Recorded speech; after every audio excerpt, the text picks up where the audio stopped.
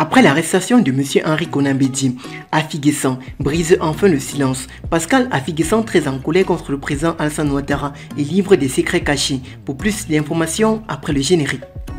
Mais tout d'abord, avant de débuter, abonnez-vous juste à la chaîne en activant la cloche de notification pour ne plus rater à nos prochaines vidéos. C'est parti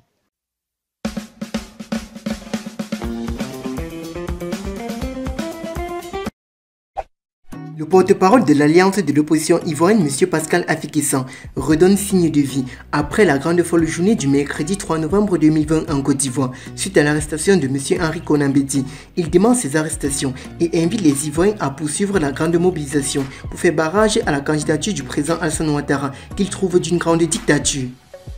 Deux jours après l'annonce de la grande victoire du président Alassane Draman Ouattara et la création d'un Conseil national de transition, en abrégé CNT, par l'opposition ivoirienne, les forces de l'ordre ont été déployées autour des résidences des leaders politiques et ils sont toujours jusqu'à présentement.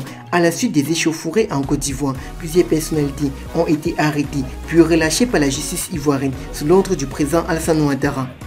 Cependant, faut-il dire, le sort de plusieurs autres personnes était incertain vis-à-vis de l'opposition. Il s'agit de Djenebou Zango, chargé de la grande communication de M. Henri Konambedi et du PDCI, et Jean-Claude, le neveu de Henri Konambedi, chargé du protocole de la République de Côte d'Ivoire. Le porte-parole de la grande plateforme de l'opposition, M. Henri Konambedi, et Pascal Afiguessan ont formé une grande alliance contre le président Alassane Ouattara. Pascal Afiguessan se prononce enfin qu'il avait multiplié les interventions devant la grande presse française jusqu'à ce jour jusqu'à ce mardi que le président Alassane Draman Ouattara a arrêté M. Henri Konambedi. Il est sorti de son grand silence en ce jour, vendredi.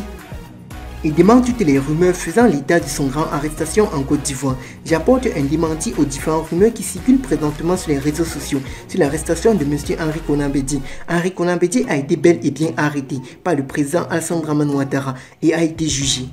À ceux qui s'inquiètent pour lui et qui ont pensé que la fin de la lutte était très proche, Pascal Afiguessan répond à cela. Je remercie à tous compatriotes vis-à-vis de l'opposition et de la République de Côte d'Ivoire et de la CNT en Côte d'Ivoire qui ont soutenu M. Henri Konabedi jusqu'à ce jour. Je les invite à poursuivre notre grande mobilisation pour faire barrage à la dictature du président Alexandre Manouattara. Amatélé Pascal Afiguessan, candidat récalé à la dernière élection présidentielle du 31 octobre 2020, contesté par l'opposition. Pour finir, l'homme va laisser savoir aux militants du PDC RDA, y compris des GPS, notre avenir dépend de nous.